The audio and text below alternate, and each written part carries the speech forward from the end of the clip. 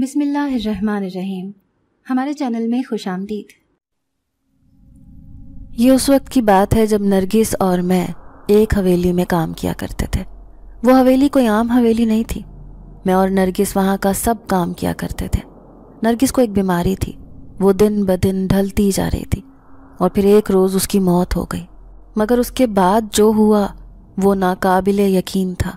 एक मुर्दा वजूद में से बच्ची का पैदा होना और फिर उसकी आँखें नीले रंग की होना बहुत खौफनाक बात थी। मगर ऐसा ही हुआ था। मैंने खुद अपनी आँखों से ये सारा मंजर देखा था, जबकि नरगिस अभी कुंवारी थी, मगर वो बहुत हसीन थी। लंबे, घने बाल थे।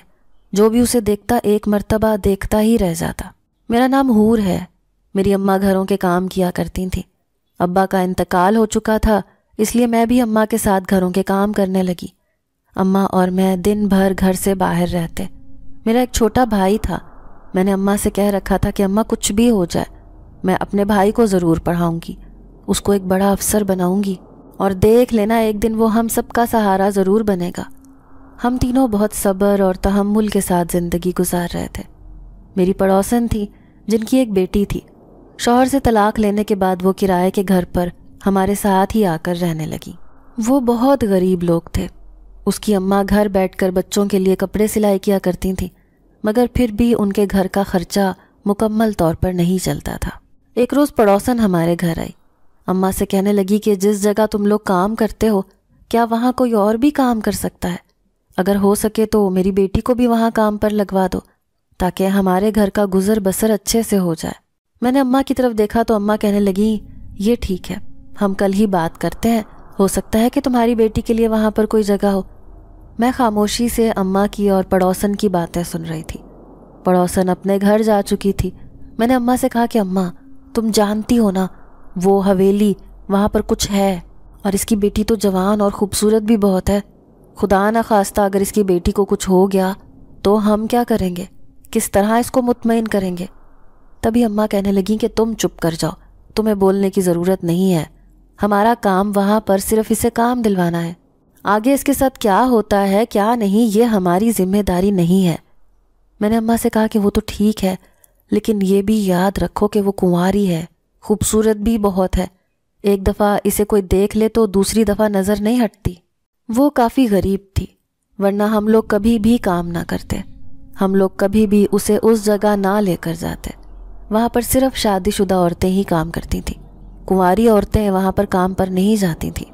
अगले रोज़ नरगिस हमारे साथ जाने के लिए हमारे घर आ गई।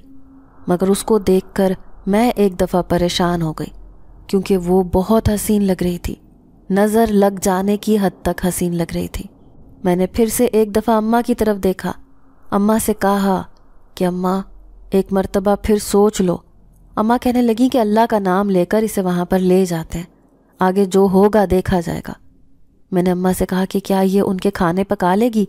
जिस तरह के वो लोग खाने खाते हैं, उनके पास तो जाने को भी दिल नहीं करता। अम्मा ने कहा कि जिसको ज़रूरत हो, वो हर किस्म का काम कर लेता है, और इस लड़की को पैसों की सख्त ज़रूरत है। ये यकीनन ये काम कर लेगी। मैं अम्मा के साथ नरगिस को हवेली ले गई तो वहाँ पर जाकर वो बोखला गई। वो हवेली बहुत बड़ी थी। मैंने नरगिस को समझा दिया कि यहाँ पर किसी से ज़्यादा बात नहीं करनी, और ना ही किसी मालिक के काम में दखल अंदाजी करनी है। और कोशिश करना कि अपना चेहरा छुपा कर रखना। नरगिस मेरी बात पर काफ़ी हैरान हुई। कहने लगी कि, चेहरा क्यों छुपाना है? मैं चेहरा छुपा के नहीं रख सकती, मुझे सांस का मसला है, मेरा सांस घुटने लगता है। मैंने नरगिस से कहा कि, अगर तुम ज़्यादा देर काम करना चाहती हो तो खामोशी से जो कह रही हूँ, वही करती जाओ। खुद से कुछ करने की कोशिश मत करना, वरना बहुत बुरा फंस जाओगी। वो मेरी तरफ़ हैरानगी से देखने लगी।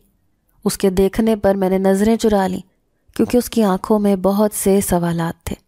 मगर मेरे पास अभी उन सवालात का जवाब नहीं था। अपनी तरफ़ से तो मैंने उसको तसल्ली दे दी और उसे समझा भी दिया। अब आगे उसका नसीब था कि वो क्या करती है। तभी एकदम पूरी हवेली में अलार्म बजने लगा। मैंने नरगिस से कहा कि हमारे काम का वक्त हो गया है। अब जल्दी से अपनी अपनी जगह पर पहुंचो और काम करो। मैं वहाँ की लीडर थी। इसलिए सब मुलाजिमों को उनके काम बताना मेरी ज़िम्मेदारी थी। मैंने नरगिस को भी उसका काम बताया, जो किचन में मालिकों के लिए खाना बनाना था। और उसे कहा कि तुम सारा दिन बस खाना ही बनाओगी, इसके अलावा तुम्हारा कोई काम नहीं है। तो वो खुशी खुशी मान गई, कहने लगी कि बाजी, मेरे हाथ में बहुत जायका है। देखना, मालिक एक दफ़ा खाना खाएँगे तो उंगलियाँ चाटते रह जाएँगे। उसके ऐसा कहने पर मैं एकदम घबरा गई, क्योंकि मैं जानती थी कि अगर ऐसा हुआ तो उसकी ज़िंदगी बहुत बुरे तरीके से फंस जाएगी। ये यहाँ से कभी भी बाहर नहीं निकल पाएगी। मैंने उसे कहा कि नहीं, ज़्यादा अच्छा खाना बनाने की ज़रूरत नहीं है। हमारे मालिकों को इतना अच्छा खाना खाने की आदत नहीं है। इसलिए तुम बस पूरा पूरा खाना बनाना। तभी वो हैरान होकर मुझे कहने लगी कि अगर मैं उनके लिए बस पूरा पूरा खाना बनाऊँ तो वो मुझे काम से निकाल देंगे। हमारी ही जो पिछली बाजी है ना, उन्होंने भी मुझे ऐसे ही काम से निकाल दिया था। क्योंकि तब मुझे खाना बनाना नहीं आता था। मगर अब तो मैंने अम्मा से दिन रात खाना बनाना सीख लिया है। उसकी बातों से मैं सर पकड़ के बैठ गई। वो बहुत बात ऊनी थी। मुझे अब डर था कि कहीं मालिकों के सामने वो कोई बात ना करते मैंने उससे कहा कि, नरगिस, यहाँ काम करना है तो खामोशी से करना होगा। जितनी तुम बातें करती हो, इतनी बातों से तो मालिक नाराज़ हो जाएँगे। तब वो चुप कर गई। कहने लगी कि, नहीं, अब नहीं बोलती। और अपने काम पर ध्यान देने लगी, मगर सामने पड़ा खाना देखकर उसकी आँखें फटी की फटी रह गई। जिस बात का मुझे डर था, वही हुआ था। मैंने नरगिस से कहा कि क्या हुआ है? कहने लगी, तौबा तौबा, ये ऐसा खाना कौन खाता है? मैंने तो आज तक ऐसा खाना नहीं बनाया। इसमें से तो कितनी गंदी बदबू आ रही है और ये खाना ख़राब हो चुका है। मैं ऐसा करती हूँ, उसको फेंक देती हूँ। नए सिरे से दोबारा खाना बना देती हूँ। मैंने उसका हाथ पकड़ लिया और कहा कि नहीं, ये खाना फेंकना नहीं है। मालिक ऐसा ही खाना खाना पसंद करते हैं। मगर उसकी आँखें मज़ीद हैरत से फैल गईं। कहने लगी, ये क्या कह रही हैं बाजी आप? मालिक भला ख़राब खाना क्यों खाएँगे? मैंने लंबा सांस खींचा और कहा कि नरगिस, खुदा के लिए वही करो जितना कह रही हूँ। मुझे और भी बहुत काम है, मेरा दिमाग ख़राब मत करो। मगर मैं नहीं जानती थी कि वो लड़की अपनी जान खुद मुश्किल में डाल लेगी। अगर मुझे मालूम होता तो मैं कभी भी उसे किचन में तनहा ना छोड़ के जाती। मेरे किचन से निकलते ही नरगिस ने वो खाना फेंक दिया और अपने हाथ का लजीज पकवान बनाने लगी। मालिकों के खाने का वक्त हुआ तो मैं किचन में गई, मगर सामने का मंजर देखकर मेरे रोंगटे खड़े हो गए। मैं सर पकड़ के बैठ गई कि नरगिस, ये तुमने क्या कर दिया? मगर वो खुश होकर कहने लगी कि देखना, मेरे हाथों खाना खाकर मालिक खुश हो जाएँगे। उन्हें और क्या चाहिए होगा? मैं इतना लजीज खाना दे रही हूँ, वो उंगलियाँ चाटते रह जाएँगे। मुझे नरगिस की बात ने परेशान कर दिया। ऊपर से मालिकों के खाने का वक्त सर पर था। इतनी जल्दी तो अब मैं कुछ कर भी नहीं सकती थी। मैंने नरगिस को कहा कि नरगिस, मैंने तुम्हें मना भी किया था कि खुद से कुछ मत करना। जितना कहा जा रहा है, बस उतना ही करना। मगर फिर भी तुमने मेरी एक बात नहीं सुनी और अपनी मर्ज़ी कर ली। अब मुझे बताओ कि मैं क्या करूँ? मैं नरगिस को हकीकत नहीं बता सकती थी, क्योंकि मुझे हकीकत बताने की इजाज़त ही नहीं थी। नरगिस को हकीकत बताना मतलब कि अपनी जान जोखिम में डालने के बराबर है। और अगर मालिकों को इलम हो जाए कि मैंने नरगिस को सच बता दिया है तो मेरी जान लेने में एक मिनट भी ना लगाते। इसी डर से मैं नरगिस को अपने साथ नहीं लेकर जाना चाहती थी। क्योंकि मैं जानती थी कि वो बहुत सुगड़ है और मालिक को ऐसी ही तो लड़की चाहिए थी। मगर अब मेरे हाथ पाँव कांपने लगे थे। मुझे समझ नहीं आ रहा था कि नरगिस का बनाया हुआ खाना मैं किस तरह मालिकों के सामने लेकर जाऊँ। अगर मैं यही खाना मालिकों के सामने लेकर जाती तो मुझे नरगिस को पेश करने की ख्वाहिश करते। और उसके बाद वही होता, जो आज से पाँच साल पहले उस लड़की का हाल हुआ था, जिसने ऐसे ही अच्छा बनने की कोशिश में मालिकों को खुद के साथ जुल्म करने की इजाज़त दे दी थी। मैं डरते डरते वो खाना मालिकों के पास लेकर गई। नरगिस से कहा कि वो किचन में ही रहे, बाहर आने की ज़रूरत नहीं है। वो तो खामोश थी, मेरा कहना मान गई। मैंने लंबा सांस खींचा और एक आखिरी नज़र नरगिस को देखकर बाहर चली गई। मैंने जैसे ही खाना मालिक के आगे रखा, वो खुशबू सूंघते ही कहने लगे कि कौन है ये? जिसने इतना लजीज पकवान बनाया है, उसको मेरे सामने पेश करो। मगर मुझे जिस चीज़ का डर था, वही हुआ। मैंने मालिकों से कहा कि हमारी पुरानी मुलाजिमा ही खाना बना रही है, जो शादीशुदा है। तभी एक मालिक गुस्से से उठा। कहने लगा, सच बताओ किसने बनाया है? क्योंकि अगर पुरानी मुलाजिमा हमारा काम करती तो उसे पता होता कि हम लोग ये खाना नहीं खाते। मैं थर थर कांपने लगी। मुझे बहुत डर लग रहा था। तभी बड़े मालिक ने कहा कि जाओ, बुलाओ उस मुलाजिमा को जिसने ये खाना बनाया है। इससे पहले कि मैं मालिक को टालती, नरगिस किचन से भागती हुई बाहर आई।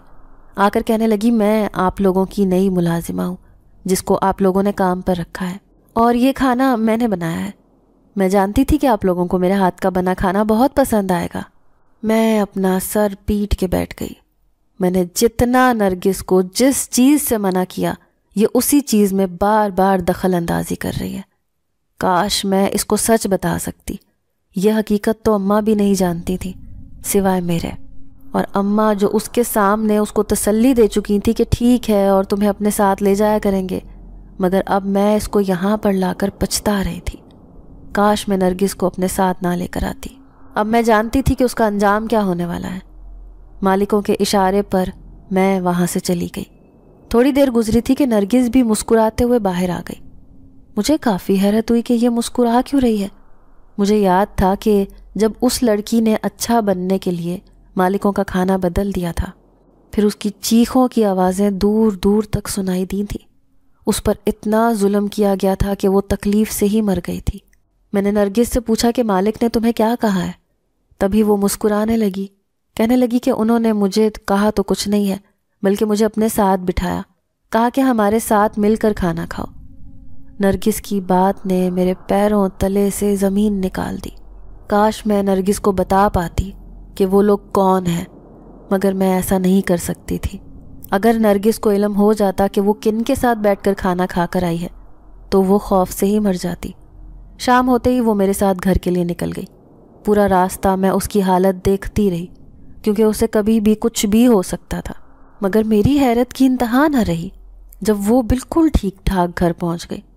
पूरा एक हफ़्ता ऐसे ही होता रहा। मैं जो मालिकों के लिए खाना देती, नरगिस उसे बदल देती और फिर अपने हाथ का बना हुआ खाना मालिकों को खिलाती। उसके बाद मालिक नरगिस को अपने साथ बिठाकर अपना जूठा खाना देते, जो वो शौक से खा लेती। हम मुलाजिमों को अगर किसी का जूठा खाना भी मिल जाए तो हम लोग गनीमत समझते हैं। आज के वक्त में दो वक्त की रोटी खाना कौन सा आसान काम था? रोटी की खातिर तो इंसान अपनी जान भी जोखिम में डाल देता है। अगली सुबह मुझे काम पर जाने के लिए देर हो रही थी, मगर अभी तक नरगिस नहीं आई थी। मेरा दिल घबराने लगा था। मैं दिल ही दिल में दुआ कर रही थी कि नरगिस खैर खैरियत से हो। वो खूबसूरत थी, जवान थी। मैं जब जब उसे देखती तो मुझे अपना वक्त याद आ जाता। मैं भी ऐसे ही सवेली में गई थी। तब मैं भी जवान थी, खूबसूरत थी, गैर शादीशुदा थी। मगर फिर जो कुछ मेरे साथ हुआ तो मैं किसी और लड़की के साथ होते हुए नहीं देख सकती थी। मैं तो सब बर्दाश्त करके और फिर वहाँ की एक मुलाजिम से शादी कर ली। दोपहर होने को आई थी, अब तो मेरी बस हो गई थी। मैं काम के लिए निकलने ही लगी थी, जब अचानक से नरगिस मुझे दूर से आती हुई दिखाई दी। मैंने नरगिस से कहा कि कहाँ रह गई थी? मैं सुबह से तुम्हारा इंतज़ार कर रही हूँ। तुम जानती हो ना, मालिकों के कामों को देर हो जाए तो वो खफा हो जाते हैं। मगर नरगिस मुसलसल मुझे घूर रही थी। उसकी आँखों में लाली देखकर मेरे रोंगटे खड़े हो गए। मुझे लग रहा था कि नरगिस के साथ कुछ हुआ है। वो बिल्कुल नॉर्मल नहीं लग रही थी। ऐसे लग रहा था जैसे उसके साथ कुछ अनहोनी हुई है। मैंने नरगिस को कहा कि क्या हो गया है? तुम ऐसे क्यों घूर रही हो? तुम्हारी तबीयत तो ठीक है। तो फिर नरगिस कहने लगी कि हाँ बस देर होने पर थोड़ी अफसरदा हूँ। जल्दी जाना चाहिए था। न जाने अब क्या होगा। आँखें उसकी अभी भी मुसलसल मेरी तरफ़ ही थीं और उसका लहजा बहुत बदला हुआ था। जैसे कोई रोबोट हो, मेरे सवालों के जवाब दे रहा हो। मैंने नरगिस से कहा कि चलो, अब हमें देर हो रही है। इससे पहले कि ज़्यादा देर हो जाए, हमें जल्दी चलना चाहिए। मैं नरगिस को ये कहकर आगे चलने लगी। थोड़ी दूर जाकर मैंने जैसे ही नरगिस को देखने के लिए पीछे मुड़कर देखा तो नरगिस अभी भी दरवाजे के आगे ही खड़ी थी। वो मुसलसल मुझे देख रही थी और आँखें भी नहीं झपक रही थी। मुझे उससे खौफ महसूस होने लगा। मुझे ऐसे लग रहा था जैसे मालिकों का असर उस पर हो गया है। मैं उसके पास गई और उसका हाथ थामा और कहा कि, नरगिस, तुम्हें क्या हो गया है? मैं तुम्हें कह रही हूँ कि हमें बहुत देर हो गई है, मगर तुम मेरा कहा सुन क्यों नहीं रही? तो नरगिस अजीब अंदाज में मुस्कुराने लगी। कहने लगी कि, ये भी राज मेरे साथ ही दफन हो जाएगा। उसकी बात पर मेरे रोंगटे खड़े हो गए। मुझे समझ नहीं आ रही थी कि मैं उसे क्या जवाब दूँ और उस पर से कैसे उनका साया उतारूँ। अभी फ़िलहाल मुझे काम पर जाना था, इसलिए मैंने नरगिस को अपने साथ लिया और चलने लगी। आधे घंटे की मुसाफत तय करने के बाद हम एक बस में सवार हुए। मगर नरगिस उस बस पर चढ़ने के लिए तैयार ही नहीं थी। वो कहने लगी कि नहीं, यहाँ पर मेरे दुश्मन हैं। मैं इस बस में हरगिज़ नहीं जाऊँगी। मैं एकदम परेशान हो गई और कहा कि नरगिस, हमें बहुत देर हो रही है और ये तुम क्या बहकी बहकी बातें कर रही हो? चलो, हमें जल्दी चलना होगा। मगर वो तो एक कदम भी आगे नहीं बढ़ा रही थी, बल्कि अपनी जगह पर खड़ी रही। मैंने उसे खींच कर जैसे ही बस में चढ़ाया ना जाने उसे ऐसा क्या हुआ। वो एकदम करंट खाकर बस से ज़मीन पर जा गिरी। मेरी चीखें फिजा में बुलंद हुई। इससे पहले कि बस चलती, मैं भी जल्दी से नीचे उतरी और नरगिस को थाम लिया। मगर मेरी आँखें हैरत से फैल गईं, जब मैंने उसकी हालत देखी, क्योंकि उसके वजूद पर एक भी खराश नहीं थी, जबकि वो काफ़ी ऊंचाई से नीचे गिरी थी। सभी हैरान थे। तभी मेरी नज़र बस की एक खिड़की पर पड़ी, जहाँ पर एक ज़यीफ बाबा बैठा हुआ था, जो सिर्फ़ नरगिस को ही देख रहा था। और नरगिस उसको देख रही थी। थोड़ी देर बाद बस वाला वहाँ से चला गया, मगर नरगिस की निगाहें बहुत दूर तक उस बस का सफ़र करती रहीं। और फिर जब वो बस आँखों से ओझल हो गई, तब नरगिस के चेहरे की मुस्कुराहट ने मेरी जान निकाल ली, मेरी रूह को झंझोड़ दिया। मैं और नरगिस पैदल ही हवेली चले गए। हवेली पहुँचे तो मालिक गुस्से में इधर उधर फिर रहे थे। मुझे तो अब डर लगने लगा था, इसलिए अपनी जान बचाने की खातिर मैंने नरगिस को आगे कर दिया। क्योंकि मैं जानती थी कि नरगिस इस वक्त मालिकों के कब्ज़े में है और वो लोग नरगिस को कुछ नहीं कह सकते, क्योंकि वो लोग नरगिस के कब्ज़े में हैं। मैंने जैसे ही नरगिस को मालिकों के आगे भेजा तो जैसे फ़िज़ा में एक बहुत तब्दीली आ गई। मालिक चिल्ला रहे थे, मैं जानती थी कि इतना तो होगा। तभी मालिक ने मुझे आवाज़ दी। मैं भागती हुई अंदर गई और कहा कि, जी मालिक तो कहने लगे कि ये आज से हमारे घर पर ही रहेगी। तुम जानती हो ना, हमें खाने में देरी बिल्कुल पसंद नहीं है। वही हो रहा था जिसका मुझे डर था। मैं मालिक की बात पर थर थर कांपने लगी। मैंने मालिक से कहा कि मालिक, अब वो ऐसी गलती नहीं करेगी। अब की बार उसे माफ़ कर दें, फिर वो ऐसी हरकत कभी नहीं करेगी और ना ही कभी लेट होगी। तभी मालिक कहने लगा कि नहीं, ये यहाँ पर ही रहेगी। इससे पहले कि मैं मालिक को समझाती और उसे मनाती, नरगिस कहने लगी कि ठीक है मालिक, मैं यहाँ पर ही रहूँगी। लेकिन मेरी अम्मा भी मेरे साथ रहती हैं। क्या वो भी यहाँ पर आ सकती हैं? अब तो मेरा दिल चाह रहा था कि मैं अपना सर दीवारों में मारूं। इस लड़की को क्यों समझ नहीं आ रही थी? इतना नहीं बोलना और ये क्यों दल दल में पाँव रखती जा रही थी? काश उसे कहीं और से भनक पड़ जाए। नरगिस बिल्कुल नॉर्मल लग रही थी। रास्ते में आते हुए जैसे वो खुद को ज़ाहिर करवा रही थी, अब वो बिल्कुल वैसी नहीं लग रही थी। नरगिस की बातों से मेरा सर दर्द से फटने को था। मैं जान तो गई थी कि मालिकों का कुछ असर नरगिस पर हो गया है। मगर अभी वो पूरे तरीके से मालिकों के कब्जे में नहीं आई थी। मुझे उसको यहाँ से कहीं दूर लेकर जाना था, जहाँ मालिकों की नज़र भी उस पर ना पड़े। मगर इसके लिए मुझे अपनी ज़िंदगी दाव पर लगानी पड़नी थी। मेरी ज़िंदगी तो पहले ही ख़राब हो चुकी थी। मैं नहीं चाहती थी कि नरगिस की भी ज़िंदगी ख़राब हो। इसीलिए मैंने फ़ैसला कर लिया था कि अब मैं उसको यहाँ से बहुत दूर ले जाऊँगी। मेरे साथ और भी बहुत सी लड़कियाँ काम करती थी। हम लोग काम कर रहे थे, जबकि एक मुलाजिमा जो मेरी अच्छी सहेली भी थी कहने लगी, ये कौन है जो इतनी खूबसूरत लड़की है? और तुम्हें नहीं मालूम था क्या? फिर यहाँ पर इसे क्यों लेकर आई हो? मैंने उस लड़की से कहा कि बस मुझसे गलती हो गई। मुझे इसको यहाँ पर नहीं लाना चाहिए था। मगर मैं इसे जिस चीज़ से मना करती हूँ, ये वही बढ़ चढ़ कर करती है। आज सुबह तो इसका रवैया भी बहुत अजीब था। अब मैं जल्द से जल्द इसको यहाँ से बचा कर कहीं दूर ले जाऊँगी। फिर चाहे उसके लिए मेरी जान ही क्यों ना चली जाए। मुझे ऐसा लगा जैसे मेरे पीछे कोई मौजूद है। मेरे हाथ पैर कांपने लगे। मेरे औसान ख़ता हो गए। जब मैंने देखा कि मेरे पीछे तो मालिक खड़ा है, वो गुस्से से मुझे घूर रहे थे। मैं जल्दी से उनके कदमों में बैठ गई, उनसे माफ़ी मांगने लगी, उनसे कहा कि मुझे माफ़ कर दें। तभी मालिक ने मुझे घर से निकाल दिया और कहा कि कल से काम पर आने की ज़रूरत नहीं है। मैं मालिक से माफ़ी मांगती रही और उनसे कहा कि नहीं, मुझे काम पर आ लेने दें। मैं अगली मरतबा ऐसा कुछ नहीं सोचूँगी। मुझे अपने से ज़्यादा नरगिस की फ़िक्र सताए जा रही थी। जो पागल लड़की वहाँ पर रहने के लिए तैयार हो गई थी। अब मेरे पास दूसरा कोई रास्ता नहीं बचा था। एक दफ़ा जो काम से निकाल दिया जाता था, उसको दोबारा कभी काम पर नहीं रखा जाता था। मैं थके हारे कदमों की तरह वापस घर लौट आई। अम्मा ने मुझसे पूछा कि क्या हुआ है? सब ठीक तो है? तभी मैंने अम्मा से कहा कि अम्मा, मैंने नौकरी छोड़ दी है। अम्मा काफ़ी हैरान हुई। कहने लगी कि क्या वजह बन गई थी जो नौकरी छोड़नी पड़ी? मैंने अम्मा से कहा कि अम्मा वहाँ पर मेरी मालिक से बहस हो गई, इसलिए मुझे नौकरी छोड़नी पड़ गई। अम्मा ने सर झटक दिया और कहा कि चल कोई बात नहीं, कोई और नौकरी मिल जाएगी। मैं दिन रात बेचैनी से गुजार रही थी। उस रोज़ के बाद नरगिस मुझे कभी भी अपने मोहल्ले में नज़र ना आई। मैं हर वक्त उसको लेकर परेशान रहती। एक रोज़ रात के वक्त बत्ती ना होने की वजह से मैं दिए जला रही थी, ताकि घर में रोशनी की जा सके। मगर रोशनी करते ही जब मुझे अपने आसपास एक साया सा महसूस हुआ, मैं एकदम घबरा गई। डर कर मैंने जैसे ही पीछे मुड़कर देखा तो वहाँ पर कोई नहीं था। मैं अम्मा को आवाज़ें देने लगी, पूछने लगी कि अम्मा, क्या तुम अभी बाहर आई थी? तो अम्मा कहने लगी, नहीं, मैं तो अंदर काम कर रही हूँ। मेरा भला बाहर क्या काम? तू भी जल्दी जल्दी दिए जला और अंदर आ जा। इस वक्त बाहर अकेली लड़कियों का खड़े होना ठीक नहीं है। मगरिब के बाद आसमान से बलाएँ उतरती हैं। अम्मा की बात ने मुझे और खौफजदा कर दिया। मुझे रह रह कर नरगिस याद आ रही थी कि न जाने उसके साथ वहाँ पर क्या सलूक किया जा रहा होगा। एक हफ़्ता होने को आया था। मैं काम छोड़कर आ चुकी थी, मगर एक हफ़्ते से मैं बेचैन थी। हर वक्त नरगिस की सेहत और सलामती के लिए दुआ करती रहती। उस मासूम गुड़िया के साथ मेरा अजीब सा लगाव हो गया था। एक दिन मैं रात को सहन में दिए के पास बैठी थी। गर्मियाँ चल रही थी, इसीलिए कमरे में दम घुटता था। अम्मा को शुरू ही से कमरे में सोने की आदत थी। इसलिए अम्मा को कभी महसूस ही ना हुआ था, मगर मुझे अंदर बहुत गर्मी लगती। इसलिए मैं बाहर आ गई, दिए के पास बैठ गई। अचानक से मेरे रोंगटे खड़े हो गए, जब मैंने उस दिए में नरगिस को देखा। नरगिस चिल्ला रही थी, चीख रही थी, मगर उस पर जुल्मों सितम के पहाड़ तोड़े जा रहे थे, जिससे वो शायद उठने के काबिल भी ना रही। वो एक कोने में बैठी फूट फूट कर रो रही थी, डर भी रही थी क्योंकि इस हवेली के जन्नात ने उस पर अपना राज आया कर दिया था कि इस हवेली में कोई इंसान नहीं, बल्कि जन्नात रहते हैं। वो जन्नात की हवेली थी। उस पर कब्ज़ा करने के लिए जन्नात उसे अपना झूठा खाना खिलाते हैं और वो जन्नात का झूठा खाना खा लेती थी।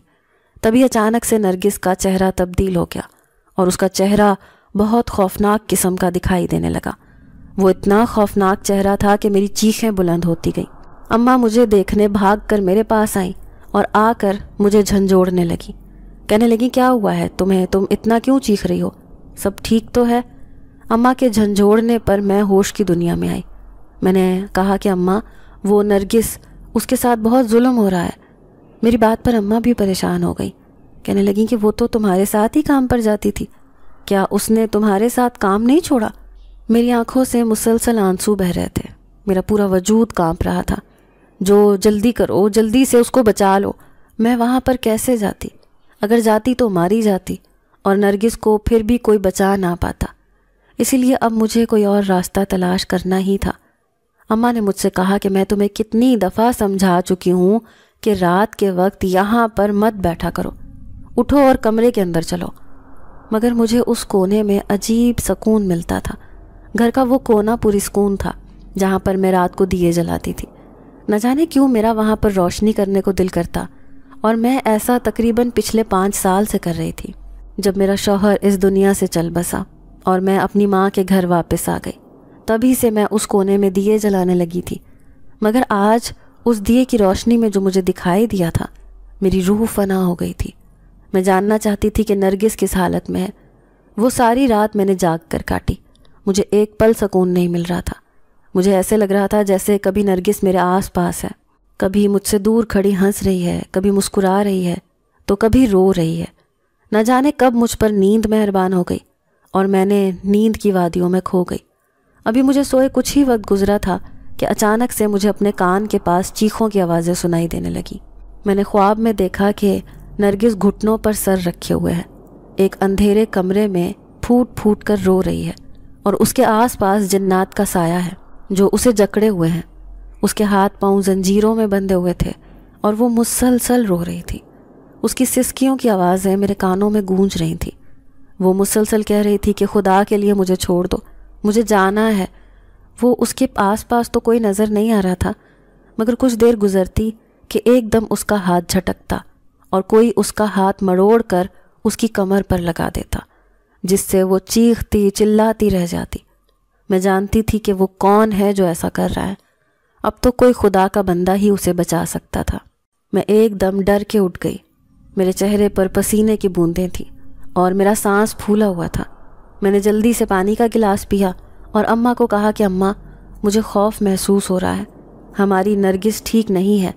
न जाने उसके साथ क्या सलूक किया जा रहा है और उसकी अम्मा का भी तो कुछ अता पता नहीं है।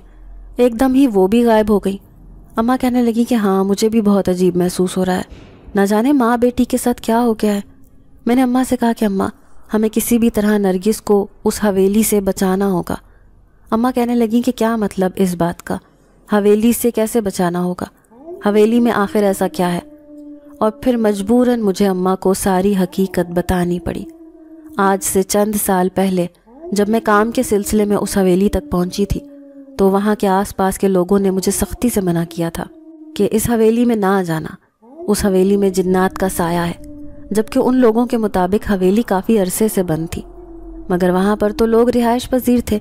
मैंने भी नरगिस की तरह लोगों की बातों पर ध्यान नहीं दिया और फिर उस हवेली के अंदर घुस गई और उसके बाद जो मुझे बर्दाश्त करना पड़ा, वो नाकाबिल बर्दाश्त था। मुझे तो समझ नहीं आ रही थी कि मैं क्या करूँ। पहले पहले तो मैं उस हवेली में खुशी खुशी से, मगर जब उस हवेली का राज मालूम हुआ तो मेरे रोंगटे खड़े हो गए।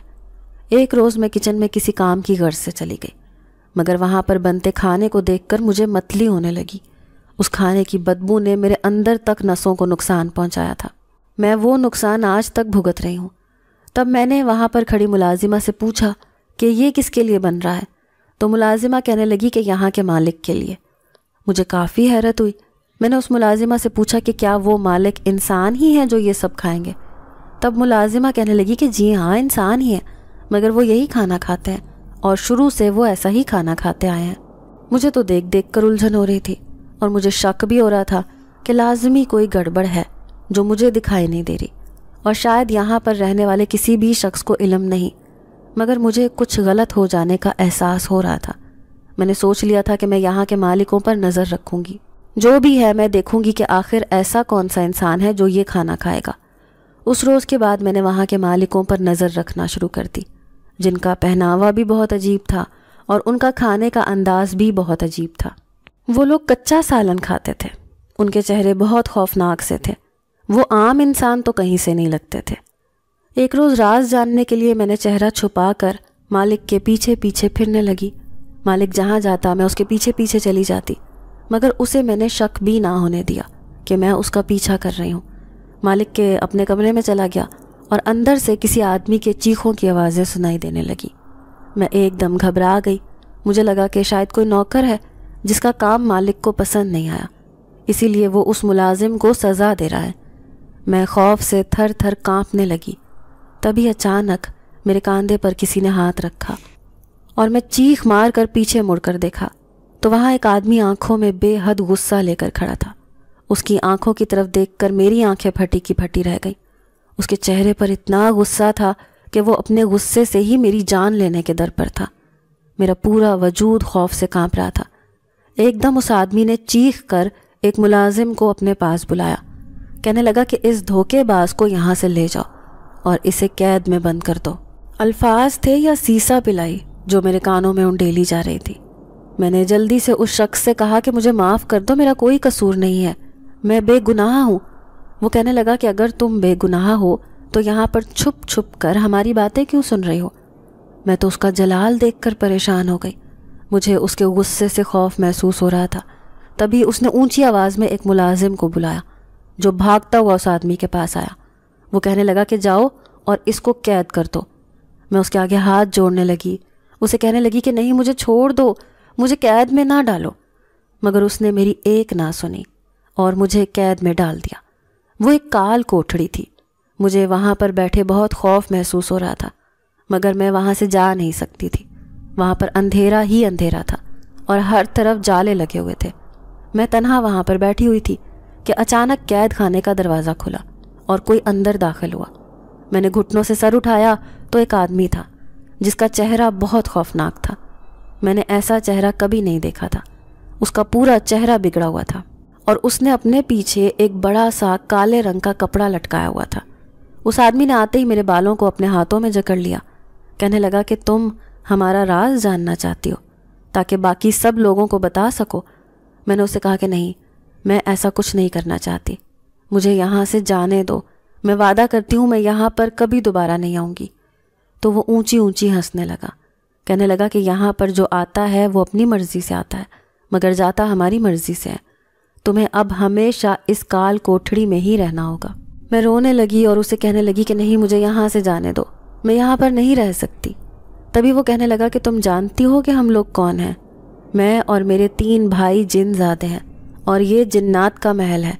यहाँ जिन्नात का राज है, और तुम यहाँ पर फंस चुकी हो।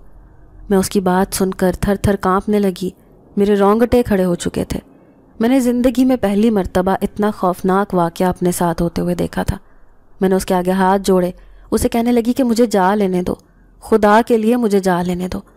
तो वो कहने लगा कि अगर मैंने तुम्हें यहाँ से जाने दिया तो तुम अपनी दुनिया में जाकर हमारा राज फाश कर दोगी और सबको बता दोगी कि इस हवेली पर जन्नात का साया है और फिर कोई शख्स इस हवेली पर आएगा और आकर हम लोगों को अपनी कैद में कर लेगा और फिर हमें नुकसान पहुंचाएगा। ये जानती हो मेरा चेहरा किस तरह ख़राब हुआ? मुझे एक आदमी ने अपने कब्ज़े में कर लिया था और फिर मुझसे गलत हरकत करवाई। जब मुकाबिल दुश्मनों ने मुझ पर हमला किया तो मुझे जला दिया। मैं बहुत मुश्किल से वहाँ से बचकर आया, मगर मेरा सारा चेहरा बिगड़ चुका था। बहुत मुश्किलों से, बहुत मेहनत के बाद हम लोगों ने उस इंसान से रिहाई पाई। यहाँ पर काम करने वाला हर शख्स इंसान है, मगर आज तक कोई नहीं जान सका कि हम लोग जिन जाते हैं।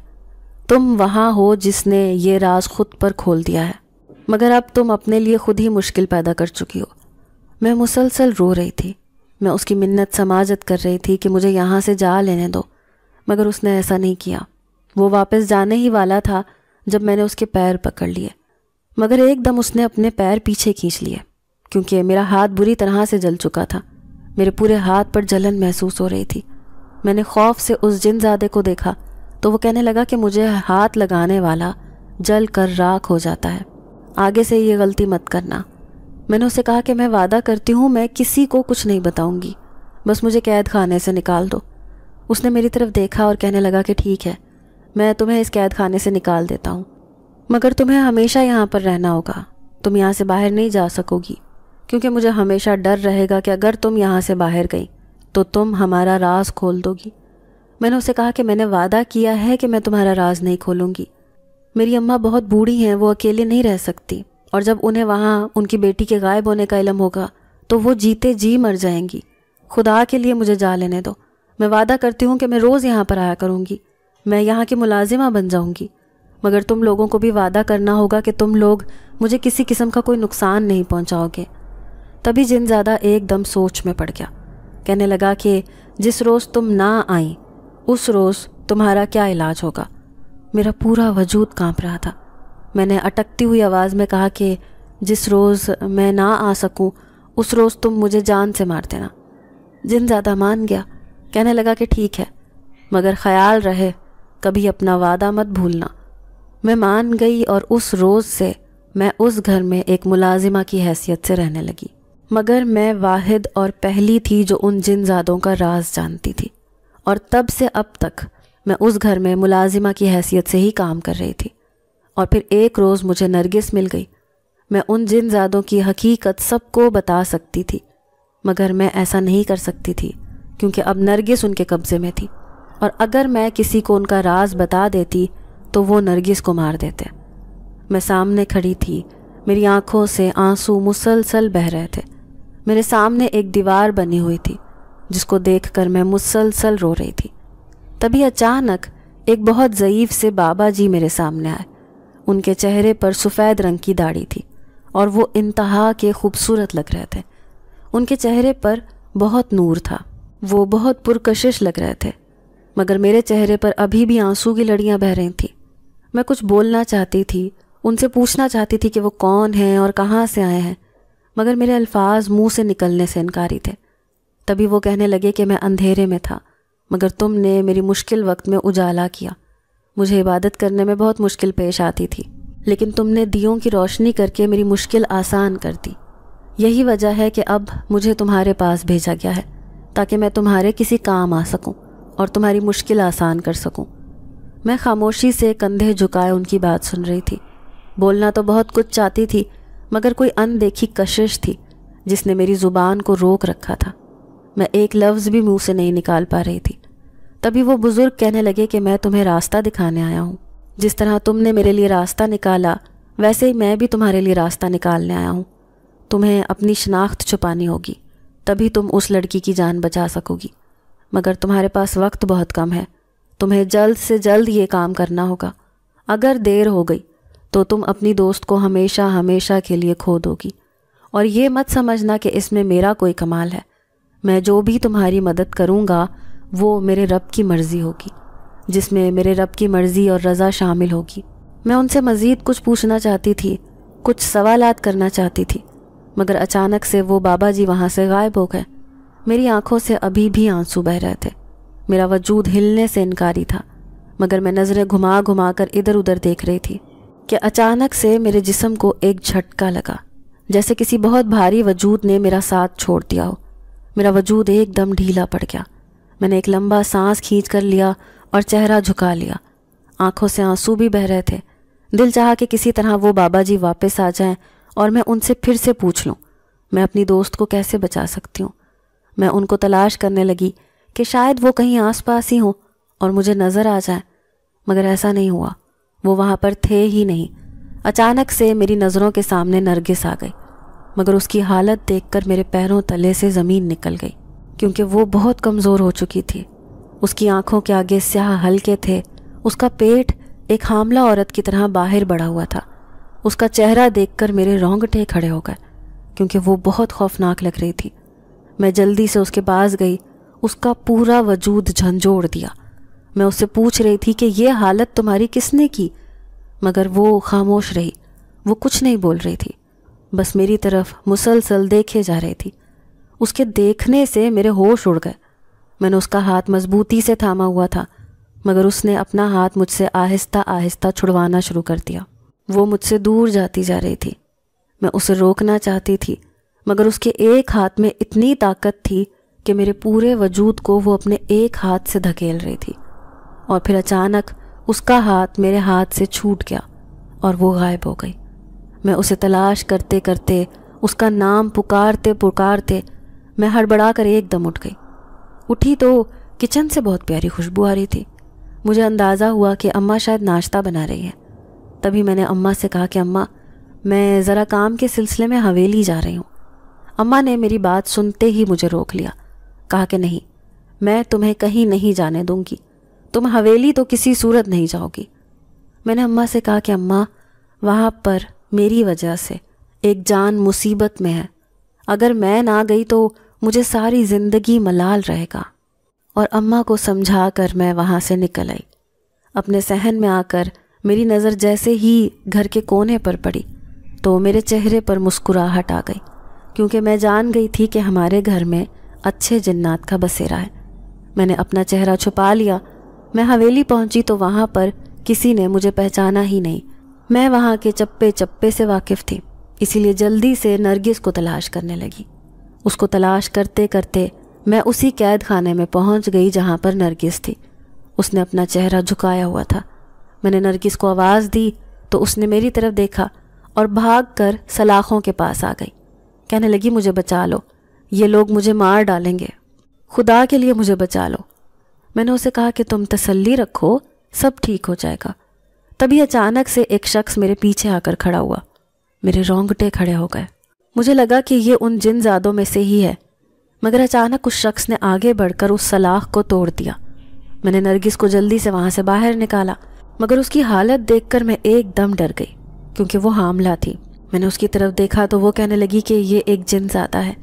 मैंने चौंक कर अपने साथ खड़े शख्स को देखा तो वो वही बुज़ुर्ग थे जिनको मैंने अपने ख्वाब में देखा था। तभी मैंने उससे कहा कि इसके पास ज़्यादा वक्त नहीं है। हमें जल्दी से हमल ज़ाया करना होगा, वरना एक और नई मुसीबत हमारे सर पड़ जाएगी। मैं नरगिस को छुप छुपा कर हवेली से बाहर ले आए। मगर हैरत की बात यह थी कि किसी को कानों कान खबर भी ना हुई। शायद ये उस बाबा जी की वजह से था। मैं जैसे ही नरगिस को अपने साथ घर लेकर आई तो पास वाली दुकान से उसे हमल ज़ाया होने वाला नुस्खा ला दिया और आते ही उसे वो खिला दिया।